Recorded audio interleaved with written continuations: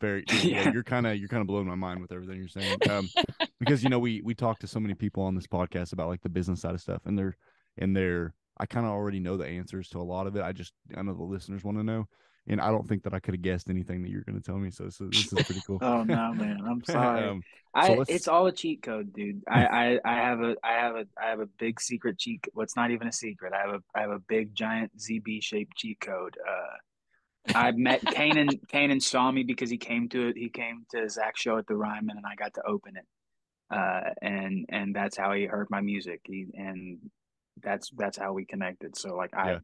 it's all I I owe so much, so much yeah. to to Zach. It's it's it's a lot. It's a lot of luck, dude. All I think all it takes is exposure, and I've been very blessed to to get a lot yeah. of it.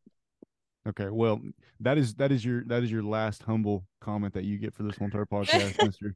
That's you're right. You're right. no, okay. I'll so I want to pick it, your I want to pick your brain about um um streaming, not necessarily numbers, but kind of the mm-hmm. financial side of it. So people like to talk shit a lot on Apple Music and Spotify and that kind of stuff. Um, being mm-hmm. a songwriter yourself, being somebody that has written written past tense um the the majority of your songs by yourself i imagine things like apple music and spotify are actually very nice to a songwriter like you um, that owns all of your lyrics and you know from what i know at least um, what are your thoughts on streaming payouts and, and and and things like that? So another weird place for me because i do fine. Like my my yeah I'm, that's what i figured I'm, yeah.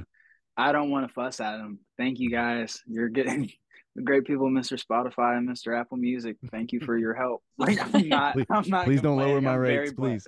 I'm very blessed. Uh, I here's the thing. Like realistically, it's it's absolute robbery.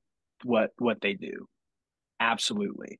If and this is this is across the board. This is so many of my friends. If if my music had reached the same amount of people that it has reached today in 1980, I would be so rich. And so many of my friends would be so rich because you have to pay for it. But now we give it away for free. And that's fine. To make a penny.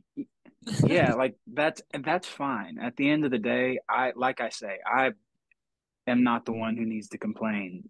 I'm I'm I'm beyond blessed and taken care of. I I, I don't mind. But they are it's it's robbery and they should yeah. like it, it should well and what's funny allowed. is i thought that again i didn't know I, I, I couldn't i couldn't predict your your answer but i figured that because as for somebody like you i figured like you didn't have anything to complain about with them you're just like man i, I get a pretty decent amount of money because like i'm the writer on my own songs and they're, they're yeah i wrote all of my songs so i don't but, have to like split any of the royalties yeah exactly exactly you know me. you have you have two people that usually complain about songwriting or a spot up, you know, Spotify payout, streaming payouts, and it's usually a somebody that had four writers on a song and they only get a percentage of a percentage of it, whatever, or you have somebody that, that hasn't got their music out on streaming platforms very in in wide ranges yet. Those are the two people that typically complain about Spotify